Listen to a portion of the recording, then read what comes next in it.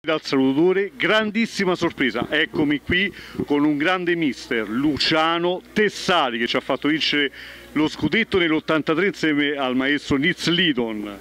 Grazie. A proposito, a tutti i tifosi, a tutti i tifosi, perché tutti ci hanno voluto bene e ci hanno sempre sopportato e aiutato in tutte le maniere. A nome di mister Lidl, che, mi ha detto qualche giorno prima, Luciano, te fortunato sei che stai a Roma e avrai piacere di vedere sempre quei grandi tifosi che ci hanno aiutato e ci hanno sostenuto in tutti i momenti. Ringraziali a, a nome mio, ringraziali per tutto quello che ci hanno uh, dato e aiutato a fare la grande Roma. Grazie, grazie a tutti. Ecco, io la ringrazio tantissimo di queste belle parole. Vogliamo dare un consiglio alla Roma attuale, che differenza c'è fra quella dell'83 come eh, forza e questa di adesso? Ma devono diventare amici. Noi non abbiamo fatto una squadra di calcio, abbiamo fatto una squadra di amici.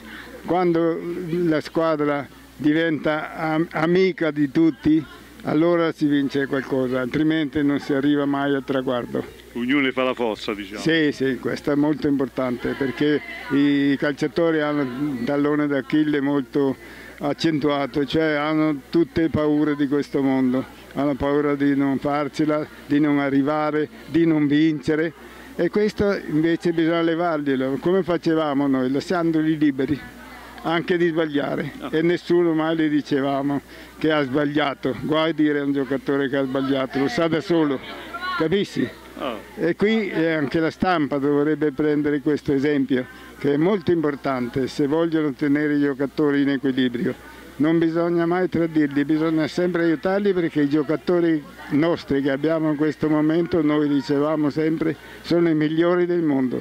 Grazie a tutti, ai tifosi e anche alla stampa, cercate di aiutarli sempre, che hanno bisogno di aiuto sempre, in qualunque momento, anche quando vincono, non solamente quando perdono grazie e con, con, grande affetto e con grande amore da parte del mister Lidl che mi ha raccomandato tanto, tante volte di, di dire queste cose a tutti i tifosi e a tutti quelli della stampa. Grazie. Grazie Dante, mister. Cerca di farla. Ciao a tutti. Te l'ho promesso. Sì, sì, questo io lo metto. Questo...